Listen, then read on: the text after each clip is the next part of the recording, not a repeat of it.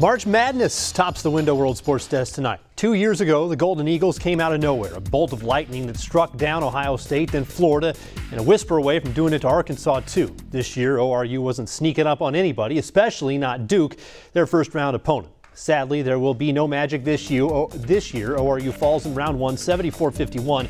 Golden Eagles didn't score for the first eight minutes of the game. They finished the year 30 and 5 overall. Max Abmas finished with 12 points. John Holcomb has more on this from Orlando. You could argue that the worst thing going against ORU tonight was the fact that the Golden Eagles made the Sweet 16 two years ago with a lot of the same players. Duke was locked in defensively. The Golden Eagles missed their first 12 shots. The Blue Devils took a 15 0 lead, and ORU didn't score until more than eight minutes into the first half. Yeah, wrong night to, to have a bad night. Uh, a lot of credit goes to Duke. They're obviously really good. Um, you know, walking over here, they offered us Duke Blue Devil colored Powerade. Uh, so it's kind of indication of, of how much it was in our night.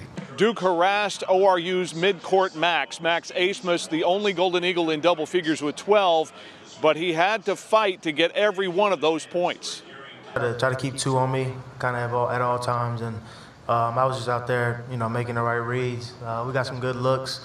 Um, they didn't fall, and it wasn't our night, but um, you know, give credit to them. The good news for me uh, right now is I could get them all back. Uh, they all have eligibility to return. I'm not telling you that they will, uh, but but what I am telling you is that we have a group that is very invested in, in getting better as players. As for Abmas's future, he wouldn't commit to anything post game tonight. He said it'll take a few days before figuring out what's next. The Golden Eagles finish with a stellar 30 and 5 record and one disappointing night won't define what this season was all about at ORU. In Orlando with the Golden Eagles, I'm John Holcomb.